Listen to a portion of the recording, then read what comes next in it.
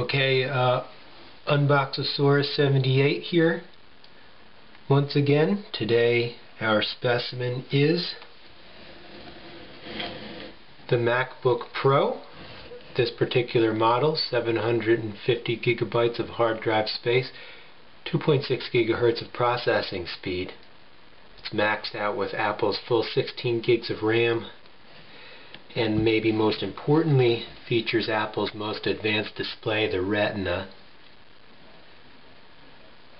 A couple words about the utensil I've chosen for today. It's the Kuhn Rikon 4 inch paring knife, high carbon stainless steel blade, a non-stick coat. You've seen these before in my videos in different colors. I'm using orange today. Not sure why.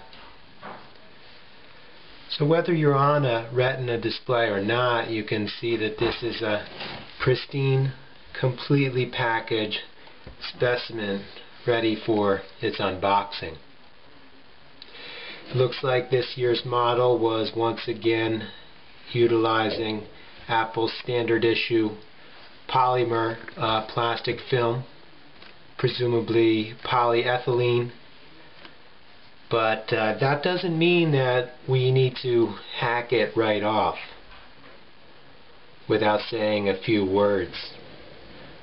Uh, the perfection of the wrap we're looking at is no less genius than the rest of the design coming out of the Cupertino offices of Apple's Silicon Valley Design Center. Although designed in California, it's uh, presumed that this particular plastic was applied where the device was manufactured uh, near Shanghai, China. If I'm not correct in this assertion, I will rely on my devoted YouTubes to correct me in the comments. So, um, some people call it plastic wrap, others call it shrink or overwrap.